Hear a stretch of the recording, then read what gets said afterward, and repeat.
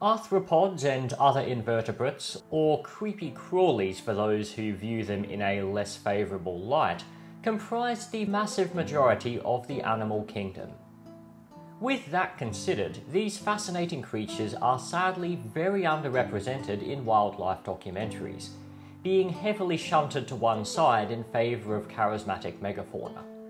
So, on the rare occasion that a documentary does emerge in which arthropods are the stars of the show, bug freaks such as myself have good reason to be excited. Monster Bug Wars is a show I dare say many of you who follow this channel are familiar with.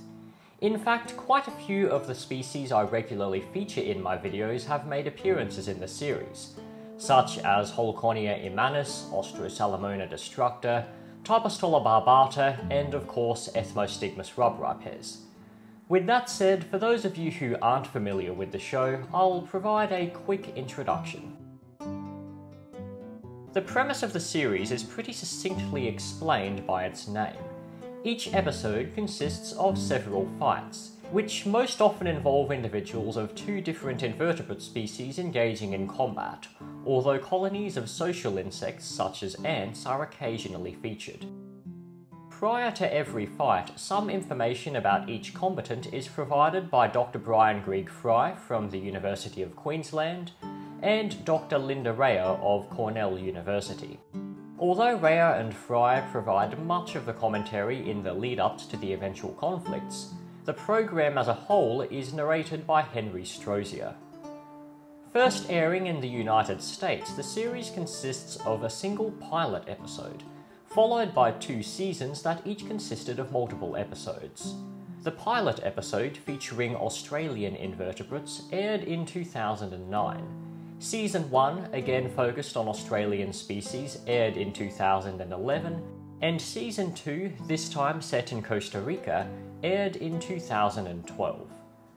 When I first watched the show as an excited and impressionable 12 year old, it was some pretty cool shit to use the technical term.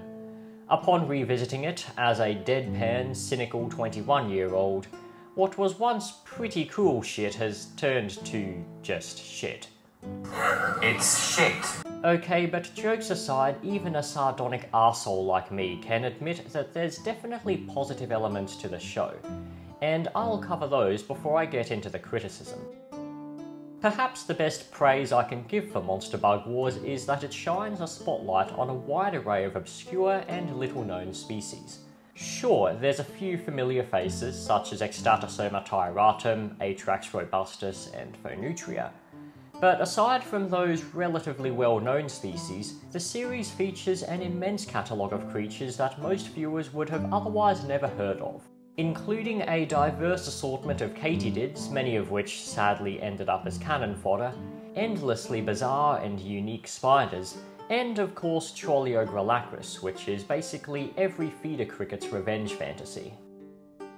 In addition to this, the show's commentators, Dr. Fry and Dr. Rayor, are both genuine experts, which I feel the need to point out since I've seen quite a few people in the show's YouTube comments questioning their credibility. Fry's research predominantly focuses on the evolution of venom in various animal lineages, everything from the Komodo dragon to octopuses, and he has contributed to an extensive list of academic publications. Rayor, meanwhile, is a behavioural ecologist focusing on the evolution of social tendencies in spiders, primarily the Australian huntsman species Delena cancerides, which exhibits extended gregarious behaviour between siblings, something very unique among huntsmen. And her passion for these spiders is more than evident in the show. Huntsman spiders are the best spiders in the world. Like Dr. Fry, she has contributed to an extensive catalogue of scientific publications. So I gotta commend Monster Bug Wars for this. They could have gone the typical Discovery Channel route of grabbing fake experts to tout random nonsense with a smokescreen of bogus credibility, looking at you, Megalodon, the monster shark lives, but instead they opted for using two well-accredited individuals with knowledge that is both in-depth and relevant to the subject matter at hand. So, in short, Monster Bug Wars had pretty much everything going for it to become a top quality documentary. A premise that'd interest the general populace, expert input, brilliant close up footage, and a plethora of weird and wonderful mini beasts. Yet, in spite of the fact that it had all the ingredients of a superb program on a silver platter, it still managed to drop the ball, and quite spectacularly, I might add. First up, let's talk about the sound effects, because let's face it, not discussing the sound effects in a review of Monster Bug Wars would be like not mentioning Tyrannosaurus rex in a dinosaur documentary. Invertebrates are fascinating animals, but one issue that arises when featuring them in media is the fact that many of them are largely mute. Well, minus the cicadas that make the local bushlands sound like every failed talent show contestant got together to form a choir. Monster Bug Wars opted for a seemingly obvious solution to the general noiselessness of the world of mini beasts, adding sound effects. That alone seems perfectly fine. Indeed, it's pretty much the staple for documentaries. But I have a slight hunch that this particular program took it a little too far. Have a listen and decide for yourselves.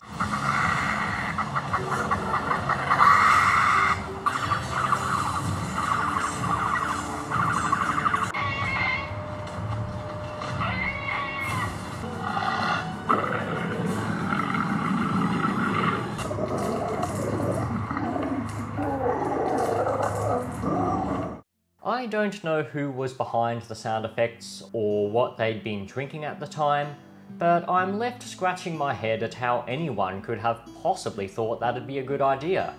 Like, hey guys, here's a documentary where we have high quality footage and constant input from two very knowledgeable scientists. But you know what I think is missing? Noises that make it sound like Jurassic Park, Walking with Monsters, and Primeval are all playing simultaneously in the background with an added orchestra consisting of several hyenas being dragged down a motorway. Even without any of the other perceived flaws I'll be covering, the sound effects alone turned this series into something so goofy that it's easier to watch as a comedy than as a documentary. It draws me back to one of my major points of criticism in my video about Coyote Peterson. In that case, I was discussing the excessive usage of intense music and theatrics. Things that are most effective, or dare I say, only effective, when used sparingly and for moments where properly deserved. The same applies for Monster Bug Wars and its sound effects. And to the show's credit, Season 2 actually toned them down quite significantly. They're still there, but a lot more subtle, to the point where they actually sometimes aid the immersion as opposed to making the entire thing seem like a cheap horror film. Another thing that seems a little unnecessary to me is the overuse of CGI renderings of the various animals featured. Sure, they make for cool backgrounds when the scientists are talking, and they work well when each fight is first announced. But apart from that, I can't think of many other instances where their usage is warranted. The models are most often shown when the narrator is talking about a certain aspect of the animal's anatomy. Generally, it's weaponry. However, nearly all of the features that get discussed, such as fangs, stingers, spikes, and mandibles, are large and distinctive enough to be visible in the actual footage. And the show's close up shots are easily good enough to negate the need for CGI renders to highlight the creature's anatomy in the massive majority of cases. The only exceptions I can think of where the usage of the CGI models may be of benefit are instances where the functionality of a certain feature isn't something that can be clearly conveyed through film alone. For example, a scorpion using its pectines to home in on the vibrations generated by a moving prey item, or the rather complex appearance of a tarantula's urticating hairs. These are both phenomena that would be very difficult to capture on camera in a way that makes it obvious to viewers. Oh, and while we're on the topic of CGI, enough with the renders of venom being injected every time something lands a bite or a sting. We know the animal is venomous, we saw the killing blow happen. and we know exactly what is occurring without needing to constantly watch the same recycled cutscenes of yellowy green goo entering an animal's body. This show seems to be competing with the Battle of Five Armies for the greatest amount of unnecessary CGI. An additional issue I have with the series is the sometimes blatantly obvious instances of external manipulation of the subjects. Now, for those of you who don't know, Monster Bug Wars was not filmed out in the wild, save some B roll footage. And almost all scenes of the animals were recorded in artificial environments. This alone is not something I have any problem with. It's very commonplace for documentary sequences featuring small animals to be shot in a controlled studio setting, and it certainly makes filming much easier. However, things become problematic when the animals are interfered with to the point of creating unrealistic and unnatural scenarios. In Monster Bug Wars, this is especially apparent in some fights where one combatant is at a very obvious disadvantage. For example, one such conflict involved a large wandering spider dubbed the Black Jungle Stalker in the show, and a black-faced katydid. Katydids, as aforementioned, were done dirty by the series. While some species featured, such as Hexacentrus mandara and Copiphora, are fierce predators, others, like Austrosalomona destructor and Phricta spinosa, are more inclined toward herbivory, and aren't much more than scavengers when it comes to animal matter, unless the potential prey is very weak. Seeing as the black-faced katydid was never shown actually hunting, I presume the species falls into the latter category. So, faced with a large spider, the katydid did what any sane insect would do yeeted itself out of there. That much is completely plausible natural behaviour. But the show wasn't done there. According to the narration, the insect hops out to rethink its battle plan because I guess the katydid is simultaneously smart enough to think of a plan, yet stupid enough to pick a fight with a giant spider. Yeah, that's the biggest case of insect anthropomorphizing I've seen since A Bug's Life with its talking bipedal ants. But hey, at least that was a cartoon. And what do you know, the scene cuts, and suddenly the katydid is right next to the spider again, only to promptly get pounced on without so much as attempting an attack itself. That entire sequence, to me, reeks of external manipulation. The behaviours are completely nonsensical and unrepresentative of how actual predator prey interactions occur. But just in case that wasn't enough, there's other scenes that are even more obviously manipulated.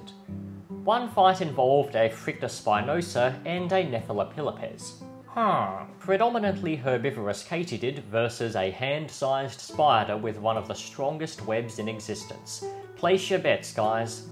In one shot, an object can be seen prodding the katydid from behind, forcing it to jump, before cutting to a CGI rendering of the katydid colliding with the spider's web. In the house centipede versus swift tree mantid match, in which a small Ciulfina species faces a significantly larger Thereuopoda longicornis, the mantid moves in a very unnatural manner when supposedly attacking the centipede. These odd movements, combined with the angle of its body, make it seem as though the mantid is being held off screen and shaken in front of the centipede to induce an attack. Then, of course, there's the battle between the ant and wasp colonies. Here, a storm supposedly dislodges a branch occupied by a nest of Oecophylla smaragdina, which falls directly onto a wasp nest. Do I need to explain why I think that entire sequence is suspicious? I'd bloody well hope not. The overarching issue I have with the aforementioned scenes is not the artificial setting in itself, but the fact that many either display implausible behaviours or compromise the immersiveness of the documentary by displaying scenes that pretty much any viewer would be able to identify as staged.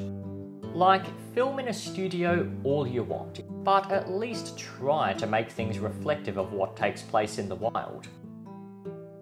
Now, let's talk about the narration. This, I'll be honest, is the least of my qualms with the series.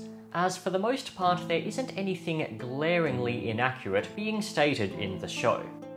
Predictably, Dr. Rayor and Dr. Fry provide generally very accurate information, and the issues I do have tend to lie with the main narrator instead.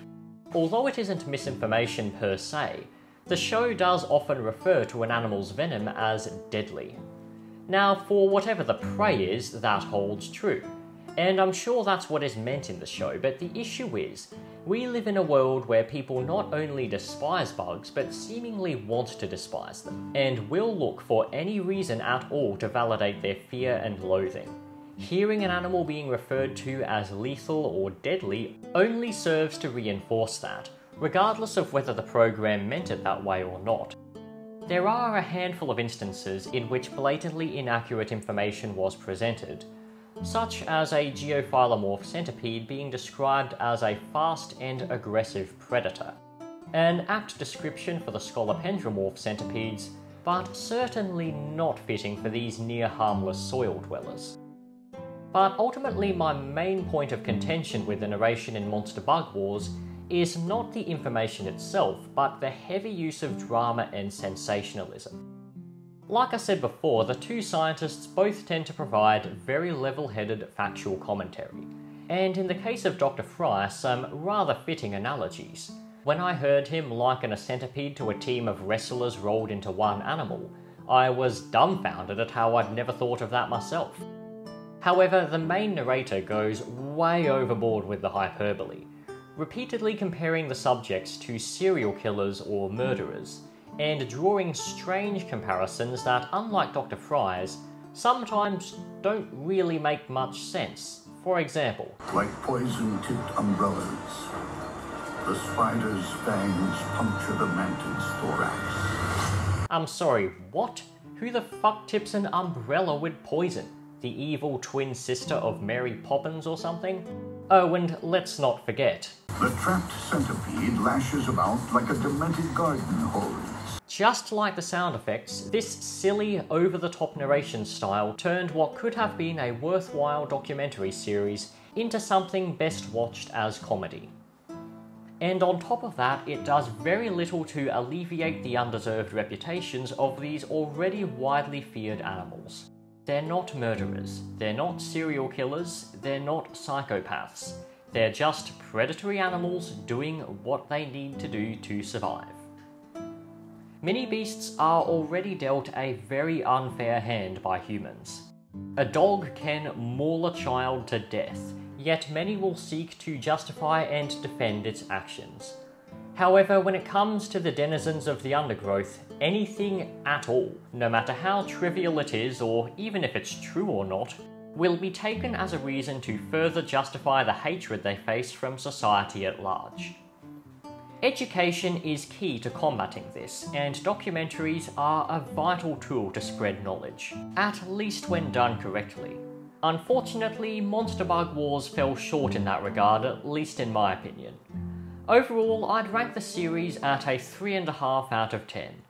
If you'd like to see me do more documentary reviews, then let me know in the comments. There's plenty that I'd love to talk about. If you enjoy my content, then feel free to subscribe, let me know what you thought in the comments, and check out some of my other videos too. Thank you very much for watching, that is it from me, and I'll see you again very soon.